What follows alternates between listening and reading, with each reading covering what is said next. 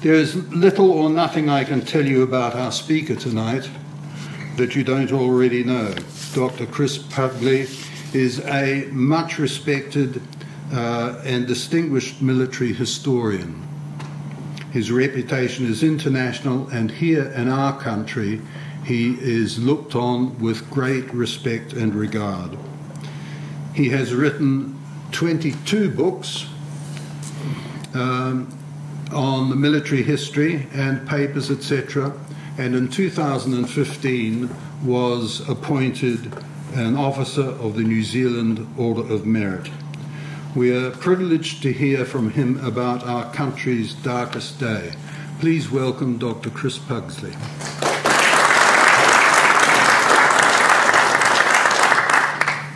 Jared, uh, ladies and gentlemen, thank you very much for the invitation.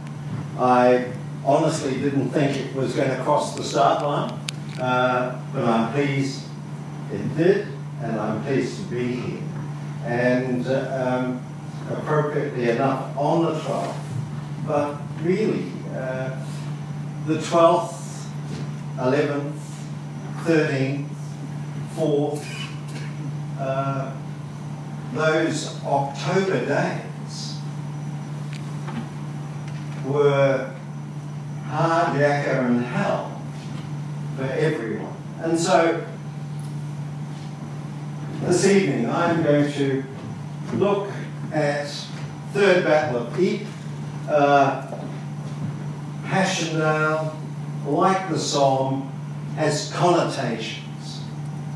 And Haig, Plumer, the generals, you know, were were they uh, donkeys or something else? Um, lots of good pictures, but hopefully they will tell a story. And so, Passchendaele in perspective, including the uh, New Zealand division within that. Why Flanders? Why Passchendaele? Uh, this wasn't Haig's obsession, even though he became obsessed by it. In uh, late 1916, unrestricted U-boat warfare, and you can see the U-boat bases along the Belgian and French coasts, uh, was such that the British government said that it's vital for the successful conduct of the war uh, that sea communications be maintained and directed the British Expeditionary Force to focus on securing the occupation of Ostend and Zeebrugge, which were the two main bases. And so after the Somme and the lessons of the Somme in 1916, uh, the focus was to the north. And that after the initial, and um, Ypres, uh, fortified uh, town in uh, Belgium on the traditional route for war. At some point, somewhere from the Romans, they had fought over this particular town. And there's, when you go to Ypres and uh, you go either along the Menin Road or out towards uh, uh, Poelcapelle or Langemark, you come to an insignificant banana-shaped ridge, which you'll see shortly. And that is the strategic high ground of Belgium. And uh, at Sandhurst, there are a set of Haig's planning maps, three-dimensional, and they're the ones that are used for this battle.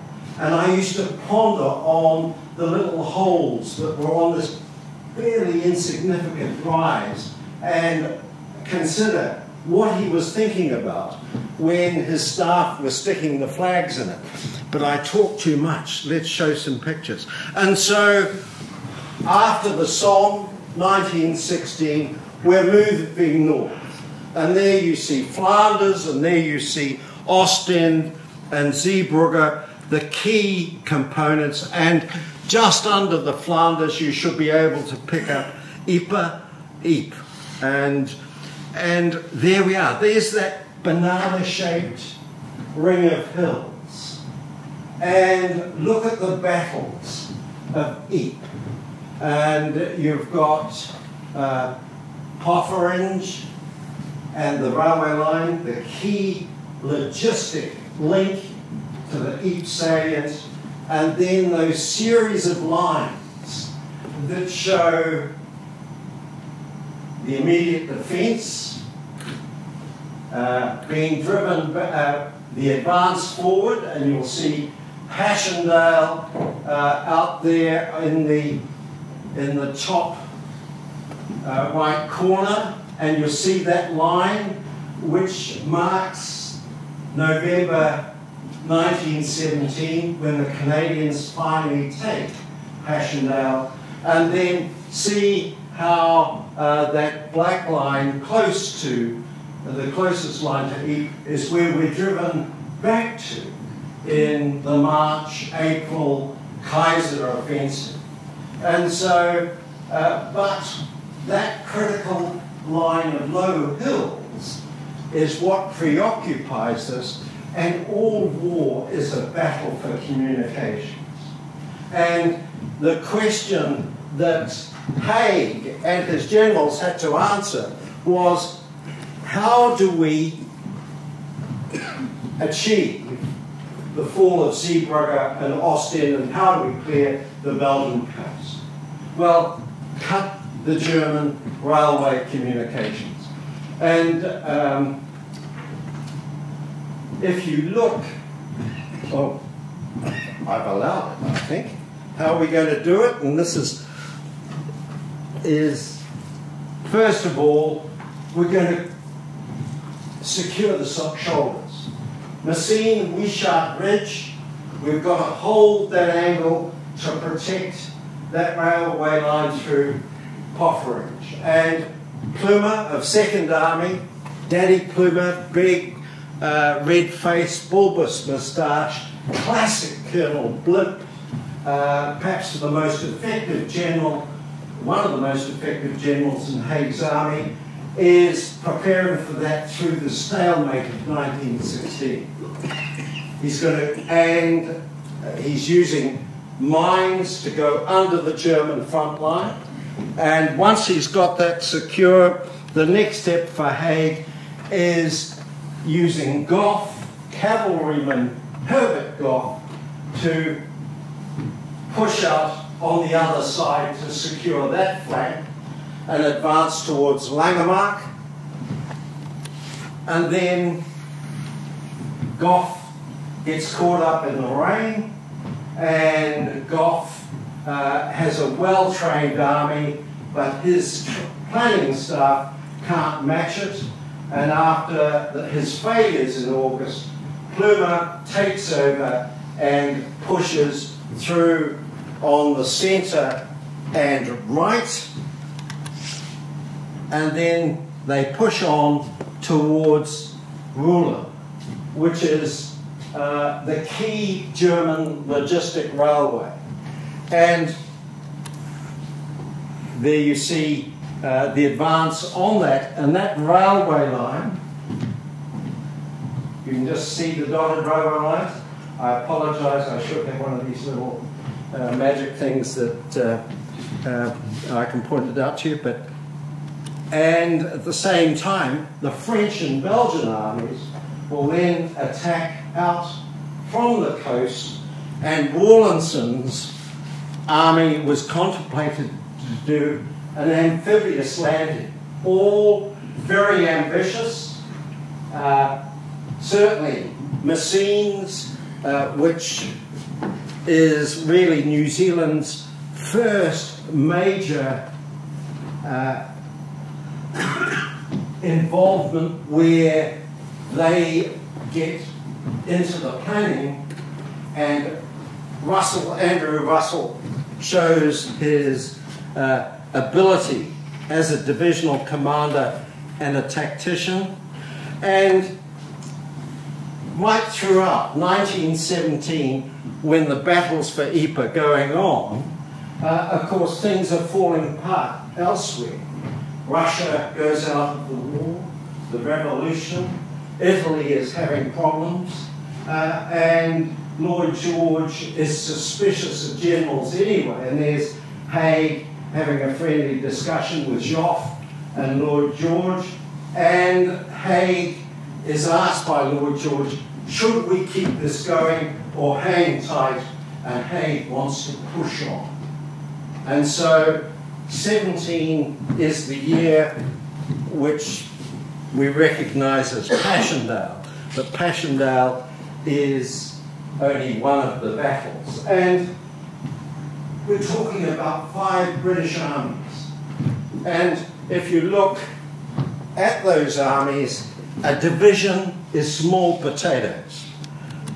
Haig's at the top. Five armies, the one we're particularly interested in is Plumer's Second Army, which uh, has the two Anzac Corps within it. One Anzac, which is essentially the Australian Corps under Birdwood, and uh, Alexander Godley, who sets up the New Zealand Territorial Force, superb trainer, administrator, and politician, uh, commands a mixed second Anzac Corps of four divisions. And these four divisions are part of our story. Uh, at the time of the October battles, he's got the 49th British Division, the 66th British Division, and then the two Anzac divisions under Russell, the New Zealand Division, and Monash, John Monash, who would later command the Australian Corps, commanding 3rd Australian Division.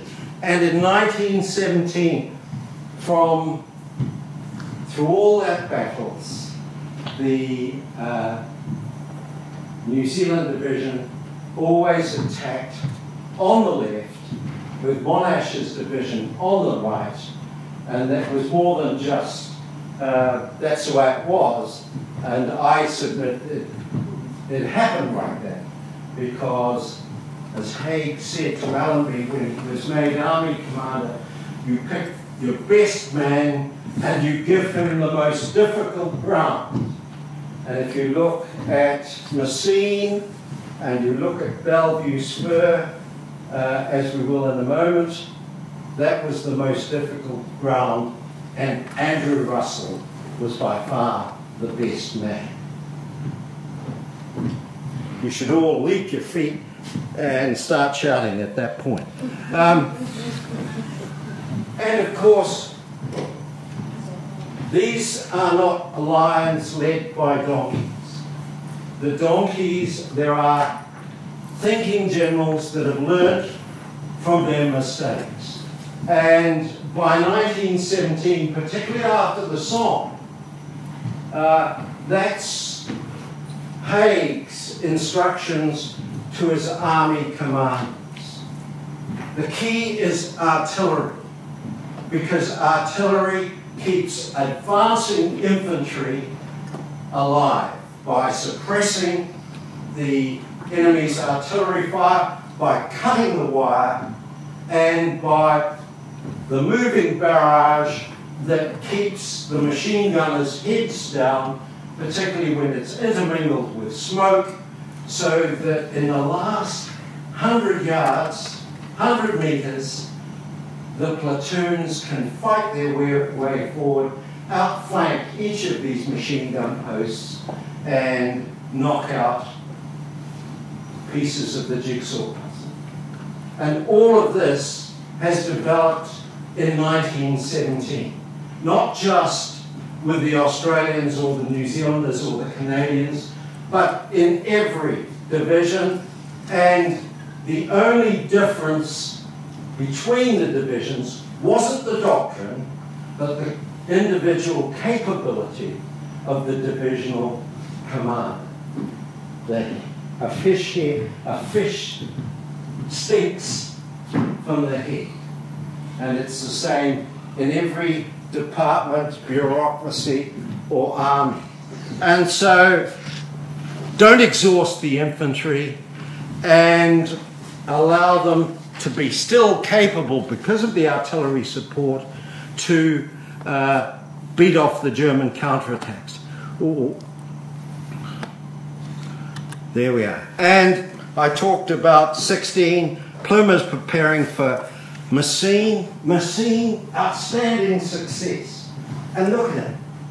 Oh, there, there's, there's you know, uh, the classic donkey, yet with Tim Harington, outstanding uh, commander, and compared to working under Gough, it was a pleasure working for Plumer because he Harington's preparation and planning uh, was very good. And don't worry about the detail, that's the scene.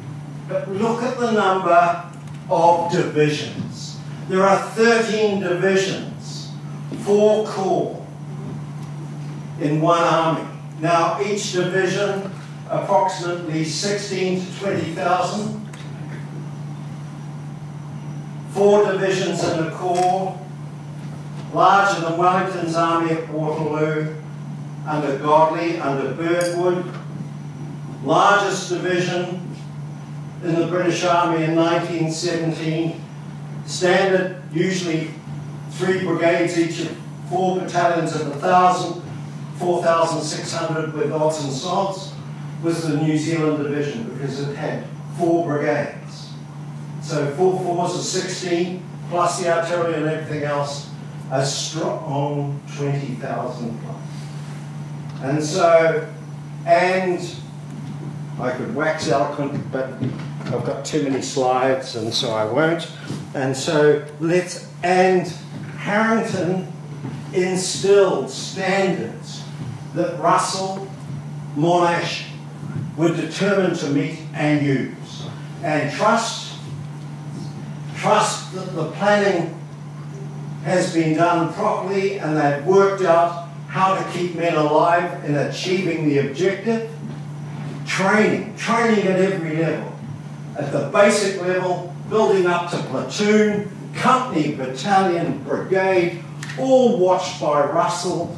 And there he's talking to uh, junior officers of Young, Daddy Young, guy behind Russell on the, uh, as we look at it on the left, uh, a dentist from Marton, seven children. I'm sure Mrs. Young was quite pleased that he went off to war. I shouldn't say that. I'm sorry. But there he is. And Russell would inspect platoons and want his platoon commander to name every man and tell him something about. He was particular. Thoroughness. Thoroughness to make sure that his men trust that his headquarters staff can do their job. And there they are, training for Messines. Notice they're in single file. They're training for a night attack on a piece of ground that has been deliberately picked to represent the actual battlefield. And on the hill, all the trenches that they're attacking have been spit locked up, so they're actually on the ground. And each of those platoons, and see back up the slope there, coming down, that's a brigade in training. Uh, each commander at section level of 12 men have got a map which details the part of the enemy position to capture and they turn it over and there's a message form on the back so that they can send it back to their boss and say we're in position all thought through and notice the yellow line and the black line when Russell explained Messines, the capture of Messines, key piece of ground. That's why the New Zealanders got the job. Monash is to the right, and he can't get on unless Messines is taken. See how there is a loop around the town because Russell wants to bypass Messines, seize the black line, exploit to the dotted line, and only put enough men into the town itself who can find shelter in the cellars. Because German counter battery fire, once they realize Messines is taken, is going to pound Messines to brick dust. And that's exactly what happened. And Haig initially wants Russell to do the standard, take it inch by inch. Russell nods wisely and does as he's planned. And earns Haig's attention from that point on. Operations today among those 13 divisions are probably the most successful I have undertaken. And so this sets the scene. This opens the battles of Third Ypres. And the Germans are on the defense. They're heavily embroiled in Russia. They're supporting the Austro-Hungarians. They're all both there and in Italy.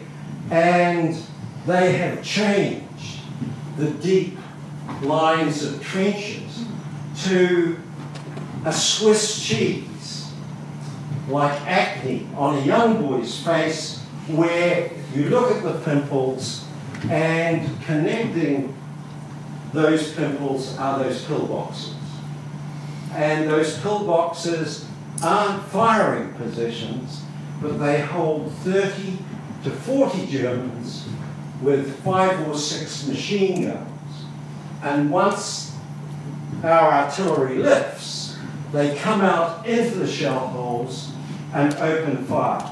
And there's belts of wire. This was painted by Butler in 1918. He went back over the battlefields, but he's captured the remnants of the wire. But if you can imagine a wire, in some cases 30 meters thick, with deliberate lanes left between them, which are the killing fields for the machine guns. And the depth, and we'll have a see that uh, on the, for the 12th of October, one to two kilometres. So that the British artillery at some point have to weaken their fire so that the batteries can keep in touch with the advancing infantry. And at that point, the German counter-attack battalions, also already in position, whack them. And that's why Haig gave that talk about protecting your infantry, don't exhaust them, don't ask them to go too far. And so all of this, it's a two-sided game.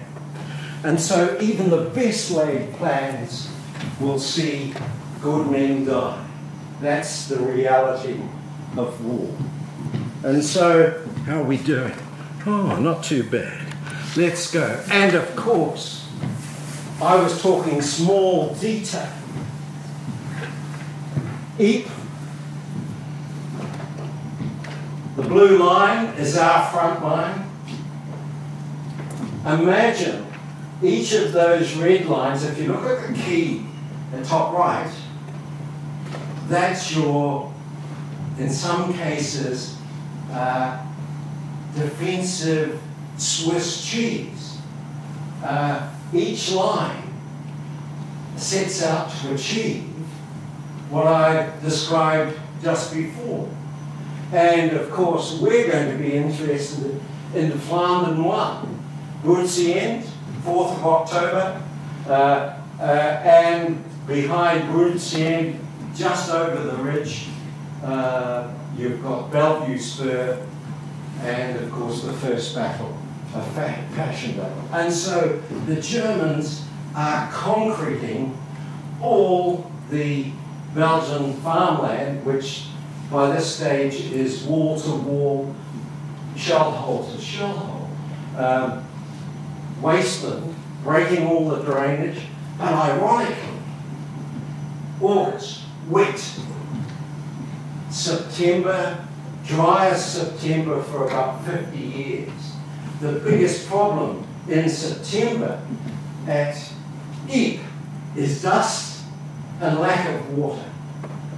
And then just when the Anzacs, well no, the Australians have their outstanding victories in September. But then in October, New Zealand Division comes on, 4th of October, great day for everyone, and then it bloody rains. And of course, turns it into a morass. And after three victories in a row, they head off to Sydney to get, uh, or was it, was it Sydney? Oh, it doesn't matter anyway. But they want a clean sweep. And you can guess what's coming. And so, where is he? And Flandern 1 is what's going to preoccupy us in a moment. And at a tactical level, that's a page out of the platoon in the attack, which is issued to every platoon commander. And there's also the battalion in the attack and uh, the division in the attack. And I used to issue a copy of that pamphlet to each of the cadets at Sandhurst. And we would, and they would have to read it, and then I would get them to say, discuss what was different to the present day platoon in the attack pamphlet. And there's no difference. It's only a first generation weapon, weapons being used, compared to where we are in the 21st century. And so this is not blind, unthinking attacks in the mud. This is cutting edge technology allied to tactics on both sides. And it's the one who loses sight or starts to rush it that falters. And Gough in August faltered. And Plumer against in the battles of Langemarck, and uh, you know the cost is obvious. And so uh, Birdwood, one Anzac Corps, is part of the attacks on the centre and right flank in late September.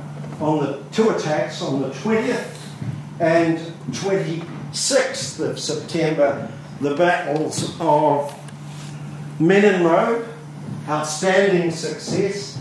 And while I mention the Anzacs, he's, uh, it's one of 10 attacking divisions.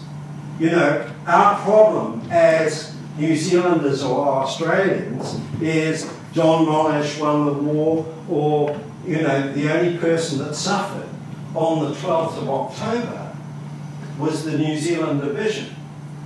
We forget the other 12 divisions that were fighting in that same battle, uh, working under the same time constraints.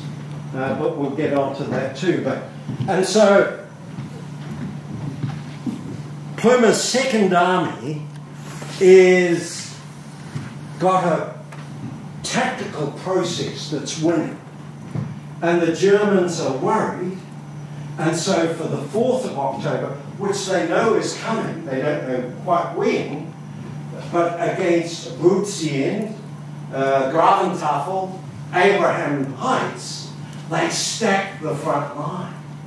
And they move their counter-attack divisions forward, or battalions forward, and gets caught in a massed artillery fire. Ten brigades of artillery supporting the New Zealanders alone. Wonder if there was enough for everyone else, but there was. And as the New Zealanders went forward, they said, never seen so many dead Germans in the shell holes.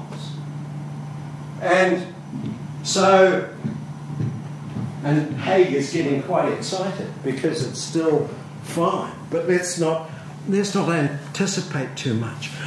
Haig is, as I said, aiming for Parula and Staden to break the railway line. Because, as he said, if we could destroy or interrupt for 48 hours the railway Roulers, there would probably be a debacle because the enemy would then have to rely on only one railway line for the supply of his troops between Ghent and the sea. So he will be forced to withdraw and it will allow us to clear the submarine bases. So it's not all is to an end. And the end makes sense. Passchendaele had a logical reason for being fought. And this time, on the 4th, second Anzac, under Alexander Godley, joins the battle. And there they are at the New Zealand Division Horse Show. Fine horses, stout, stocky men, um, and he Haig has a word in Godley's ear. He wants him to be ready to exploit. Uh, the guns should be placed behind Gravenstafel Hill, and that's where the New Zealand monument is at the Gravenstafel crossroad at Broodseinde. And the reserve brigades of his divisions of 2nd Anzac Corps should be ready push on once they've beaten back the German counterattacks. And so, and then Haig calls in his two armies, commanders. This is a second army battle with Fifth Army of Gough, and the next one on the 9th is planned to be a three army battle because Anthoine's French army will also be part of it. So, within that context, the division is important, but only in control of its piece of real estate. And we sometimes forget that. Why did they bloody do it? Because they were part of a much bigger plan. And there we are. Just remind you of that structure, and there's going to be two battles, and Godley is going to rotate his New Zealand and Australian division with his two British divisions. All have had the opportunity to train and practice the new tactics, and they're ready to go. And, and Russell is confident after uh, training his battalions throughout September that his New Zealanders are ready for battle. And Monash is the same. And as I said, look at End on the 4th. It's going to take two armies, six corps, 13 divisions, and for the New Zealanders alone, 10 brigades of artillery and support. And they're in the right position behind uh, uh, Dochy Farm who's been to Dochy Farm Cemetery. If, if, when you're allowed to go to France again, the best view for the 4th of October is Dochy Farm Cemetery because you can see the Banana Ridge and you can work out why the Aucklanders were sucked off over the border into the other divisions area and into the other army's area and left a gap in the centre where the Wellingtons had to fill. And it's all there. And of course, they've rebuilt the farms where all the pillboxes were because the pillboxes were built on those farms anyway. And so it's all laid out to you as a glorious panorama. And there in the centre is the battle memorial uh, to uh, Broodseinde for the New Zealand division on the 4th. And so now, why? Why is he obsessed by maps? Look at this. There's, there's the. Uh, here we have both Anzac Corps attacking side by side for the first time. But there's one thing I want to show, and you don't have to go into the detail, but the detail is worth having a look at. And in fact, I will um, give this uh, my stick so that if anyone wants a copy of these slides, so you can pour the maps. I'm quite willing, Jack, you can arrange that. Okay. Um, see that line I've just put there? That is the Flandern 1 line. You notice one to two kilometres of pillboxes and wire. And it's interesting, see how it goes off at an angle. And if you look at the New Zealand division on the 4th, and you can see their present line and the final objective, they barely reach the Flandern 1 line. It's still ahead of them. Look at the Australians. Third Australians have to get into it. And the other Australian divisions are already fighting their way through it. Now, that is going to impact on the battles that we see on the 9th and the 12th. And so, and how? Well, 4th October, outstanding success, but there's a New Zealand infantry battalion moving forward. And that's typical of the ground after the 4th of October, from the evening of the 4th of October on. And look at the, the strength of those German defences and add the climate. And uh, they're the two brigades, and you can see, see that red line coming, that massive trenches coming down the centre? Flandern 1. And you can see the type of obstacle it is. And what's that little, uh, the advanced dressing station is the large blue line on the edge of the map. Uh, Otto Farm is one of the RAPs, but if you can get up to the Gravenstafel crossroads and Korek, uh, just below one brigade, Berlin Wood and Waterloo, that's the extent that the New Zealanders sees on the 4th that advanced dressing station is the closest the field ambulance can get to the front line. So the stretcher bearers have to carry, if say someone's at Waterloo, it's a seven hour carry. And of course, ammunition and guns forward first before you bring out your wounded. So it's raining. And in fact, it would take relays of four to six men, four relays of four to six men, 20 men, to bring out one stretcher case uh, in that seven hours. That's the underside. And of course, once you've got that, you want to keep advancing. There is only one road. See where the big blue line is. See that line that goes up and cuts between one brigade and four brigade, heads off a, a diagonal across the map?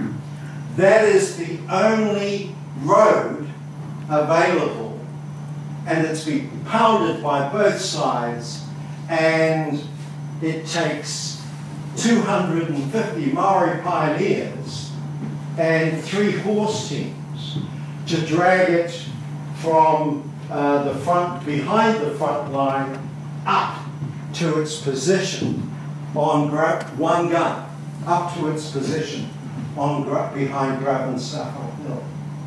but we're talking about something like tied in with the division, 120 to 180 guns. Now, and of course, how important is that gun? But it's not just the gun. You want 200 rounds of ammunition. You want sleepers, so because otherwise it will sink in the mud. And that's just for one gun. This is where it all founders.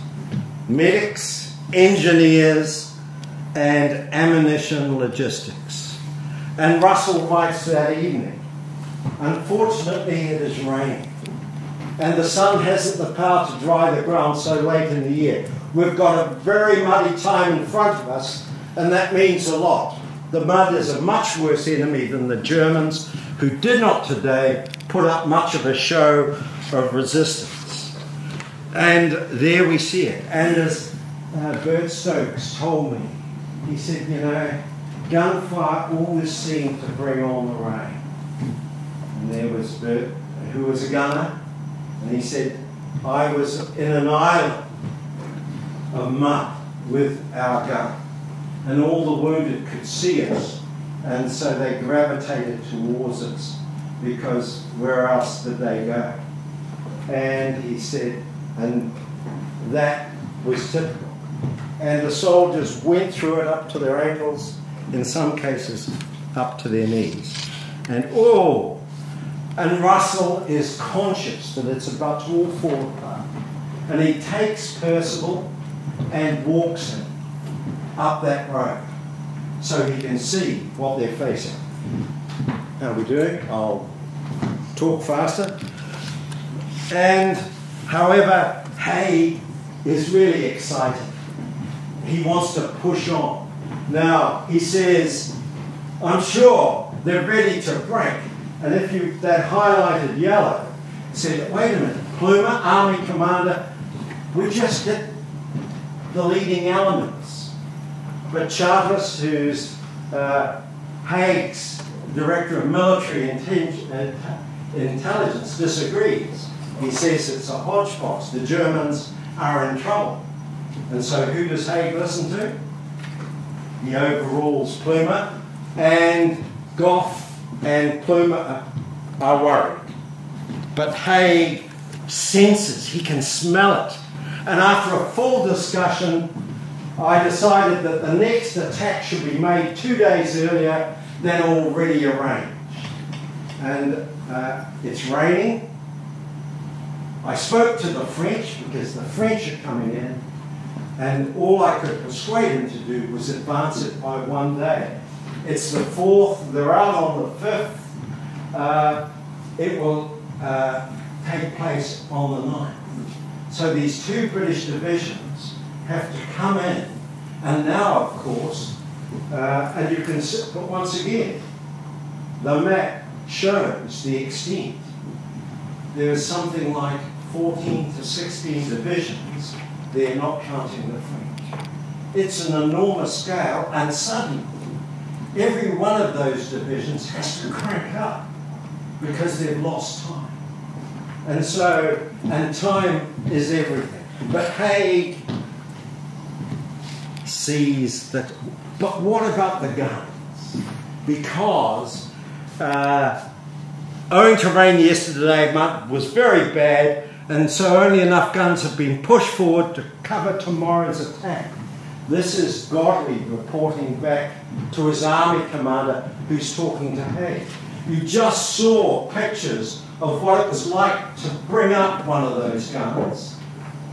If they can only cover tomorrow's attack, what happens? How soon, how many guns will they get up? It's estimated that on the 9th, because of the difficulties of going up that one road, only half the number of guns that took part in the 4th of October attack were available, and in most cases they didn't have the stable uh, supports or the ammunition. And so suddenly, the thing that the infantry rely on isn't there. And that shows. And so the ninth is a bloody disaster. Except that's not the message that Haig gets. There's the report from Godley to Haig on the 9th. Notwithstanding this, 66th Division advanced without Barrington, took all the objectives, and the 49th game, all except a small piece on the left. Absolute bullshit. They're stuck on the start line. Uh, men are dead in the trenches. They're so shell shocked that they come out without their wounded and leave 127 stretcher cases for the New Zealand division when it moves in. Um, and of course, it's the 9th. Haig has advanced the timetable. The next, they'll come out on the 10th, and Haig wants Godley to attack with his New Zealanders and Wallishes Australians on the morning of the 12th. And so they go in on the 11th, anticipating that the two British divisions are much further on than they actually are. And that the guns are up, and that the medical, and that's a photo on the morning of the 5th of October. And, it's, and it rains for the following days up to the morning of the month. But you see the pillboxes and the relationship to the wire. Okay, there's a platoon here. How do you take that pillbox? Interesting question, isn't it? We won't. We haven't got time to discuss that at this point, and I'm on the cosh, and so, and wow, not another confusing map. The barrage map for the night, but where's Passion Passchendaele? See up in the top, uh, just off the centre before that dotted line, which is basic, uh, that's the village of Passchendaele. The guns of the ninth, the two British divisions, God, these two British divisions, can't reach Passchendaele because of the problems in getting them forward. Now, just look for Passchendaele when I show you the next barrage map and ask yourself, and that's the Flandern one line. That's that maze of German defences. And you can see the poor buggers uh, got it right in front of them without enough artillery and they're the machine gun, the German machine gunners shoot them to pieces. But Haig records the day as a great success because that's what he's told. Uh, he's a bit confused. Reports from Second Army show that progress on Second Anzac Corps front was not as great as first stated. Notwithstanding this, it's a great success and push on. And Gough, Gough, who's a real cavalryman, starts to have doubts. He, do, he thinks because of the weather, we should close it down. Haig won't listen to him. And now I get excited. I'll, uh, you can see the problem. Uh, see Passchendaele, which is that little thumb at the end. Uh, and the Germans will end up on three sides what's happening now, they're starting to advance into a sack. And you're poking yourself into the sack, it's falling back on either side. The Germans are falling back on their artillery, and we're leaving ours behind. And Godley has no doubts. This is his moment to shine. He got a good tick from Messines, and now Birdwood has got a great tick for Menin Road and Polygon Wood. He wants a good tick for uh, gaining Passchendaele. Godley told me that they're determined to take Passchendaele in the next attack and will put an Australian flag on it. The advance will be then be over 2,000 yards. Now, to, up until now, because of the difficulties with artillery, it's been 1,000 max.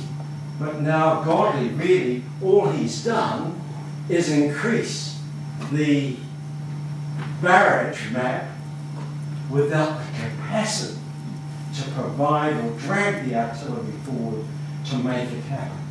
But the boss wants it, and anything the boss wants, he will get. And there's the road.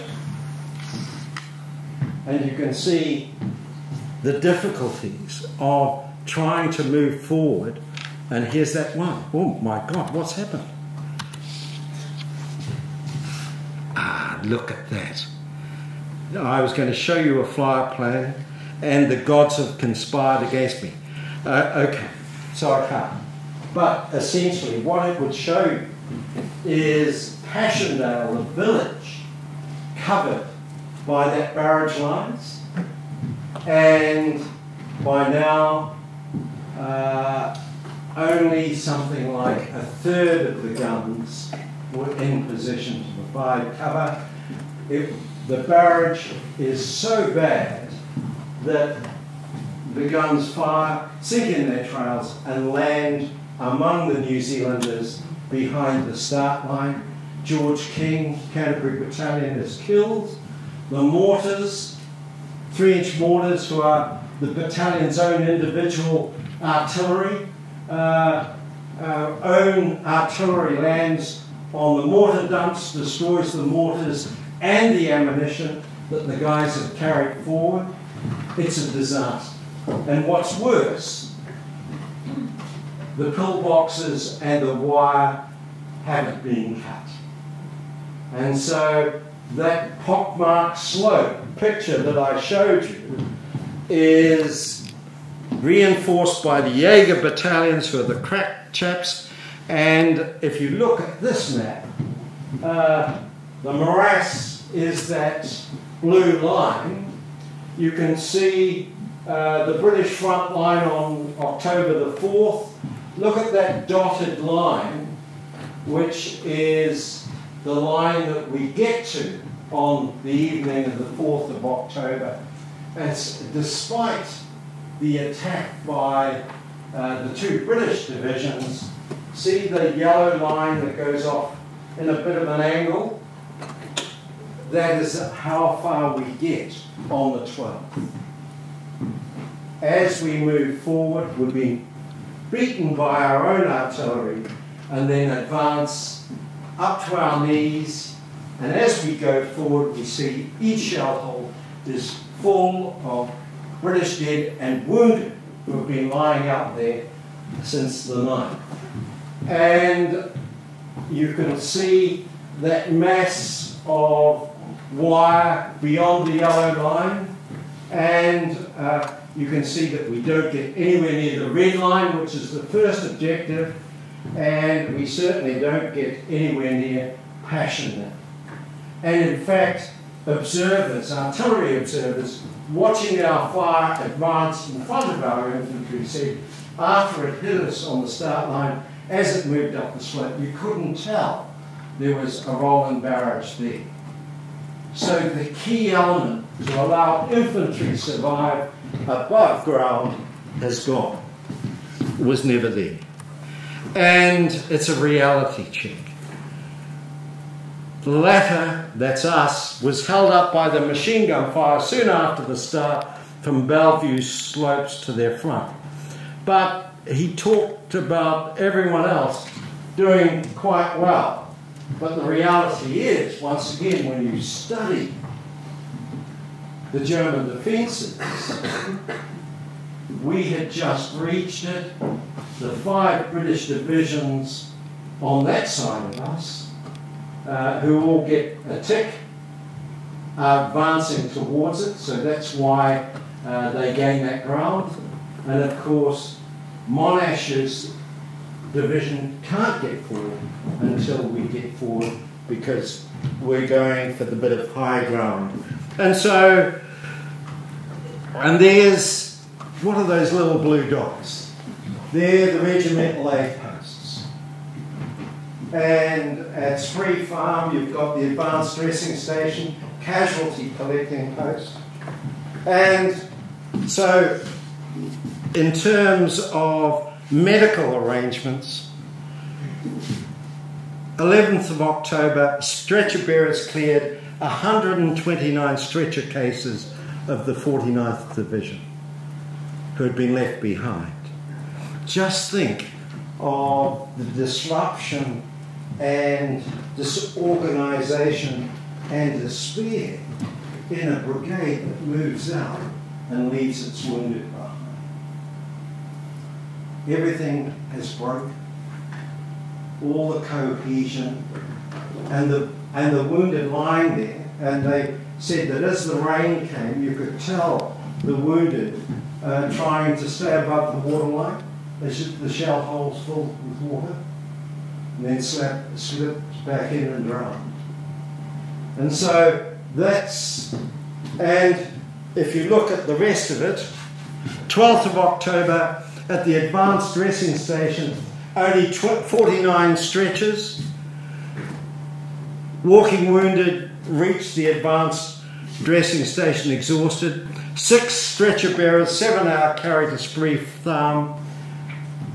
Thigh mud from those uh, blue dots that you saw on the previous slide. Uh, 200 stretcher cases at Waterloo, a five kilometre carry involving 20 stretcher bearers per stretcher, uh, 4 pm, ADS 78 lying, 214 sitting, and 440 walking there, waiting to be taken back for, towards Ypres. It estimated that the 230 stretcher cases would take 1,200 men to carry them back. And of course, gas gangrene sets in if you don't evacuate a wounded within 12 hours. The New Zealanders don't finish clearing the October, 12th October battlefield until the 14th. Braithwaite, actually on the day itself, uh, there's initial plans uh, to see if they can renew the attack in the afternoon at 3 p.m. Of course, that's impossible. We hold uh, a little bit on the left with a mix of the rifle brigades, and we're stuck on the start line looking up at Bellevue Spur. And eventually, Russell persuades Godley that it's impossible to carry out the attack. And there's uh, the pillbox, and that's the message Braithwaite sends to Russell on the 13th.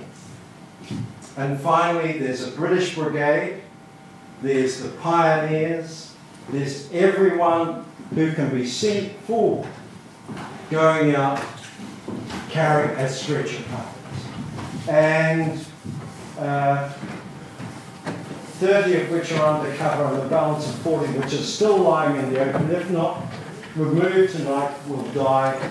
This is most urgent. And so, all the dreams at Messines and on the 4th of October come to naught. And there's the face of a New Zealand stretcher bearer in late October. And we become obsessed with ourselves. And on the 12th, it's rightly so. But there is the 9th uh, Scottish Division, who's on our left, immediate left of the New Zealand Division in 5th Army, 18th Corps. And uh, Haig says they were successful. Look at what the Scots thought attacked on the left of the New Zealand division on the 12th of October, rain and mud constitute the chief explanation for the failure of the division in this battle, which should not have been fought. But the reason why it was fought is because the Corps commander facing the vital ground of Passchendaele in his Corps area believed without all the warning signs being obvious uh, that he could do. And that was gone. And so, no artillery and men attacking forward into the face of wire and machine guns. And if you look at Monash's experience and the other divisions, it mirrors that experience. And so it's a reality check for Haig. Uh, but he's always positive. Army's commanders explained the situation, all agreed that the mud and the bad weather prevented troops getting on yesterday. I said that our immediate objective was the massive high ground around Passchendaele. If anyone's been to Passchendaele, you'll look hard for the massive high ground, but it is important. The Canadians would come in, and the Canadians would finally take Passchendaele, take that little finger of ground uh, at a cost of 17,000 casualties. And it was agreed that even though they would hold the ground, it was untenable.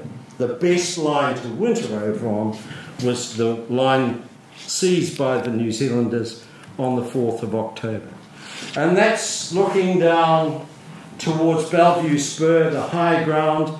Uh, the white pillbox on the left is Waterloo Farm. And, if, and that painting by Butler is taken from where the New Zealand monument is today.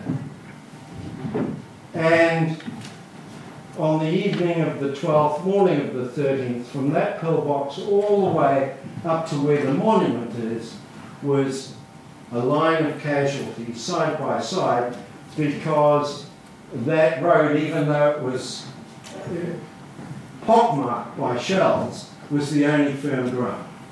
And so they dragged the casualties onto the road, and the German machine gunners and snipers up on the high ground left them alone. Okay.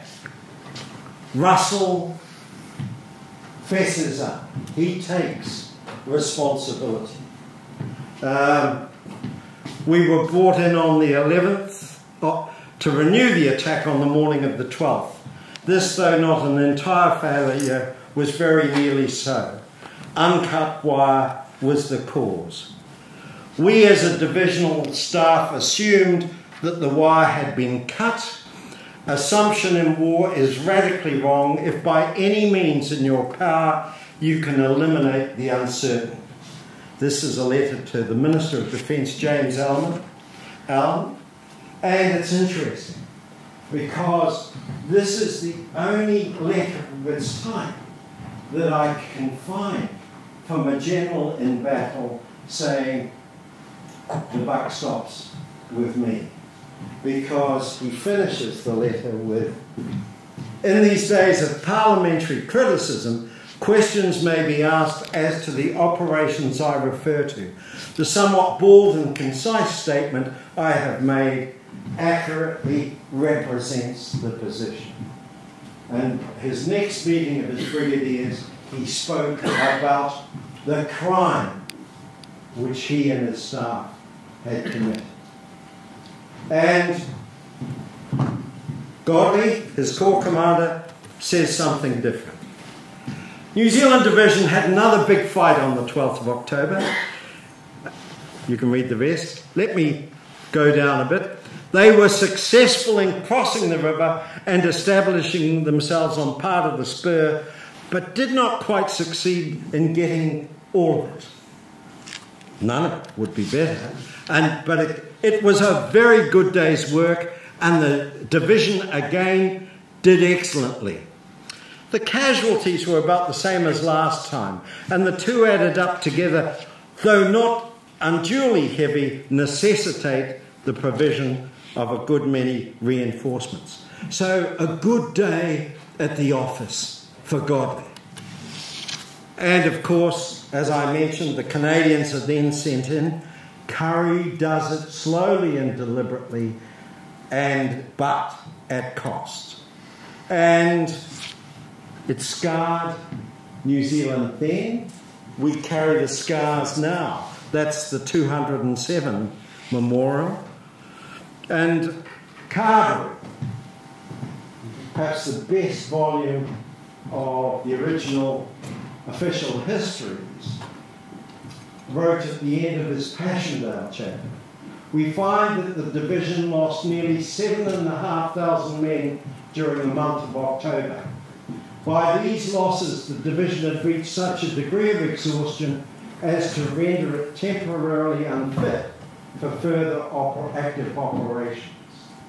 Added to the weakness caused by fatigue, sickness, and depleted numbers was a generally felt depression consequent upon our lack of success at Passchendaele and a certain dimming of ardour from which the division was slow to recover. It was broken and no longer fit for combat. But it was in good company. Haig's ambition came close to destroying two of his armies. Thank you very much.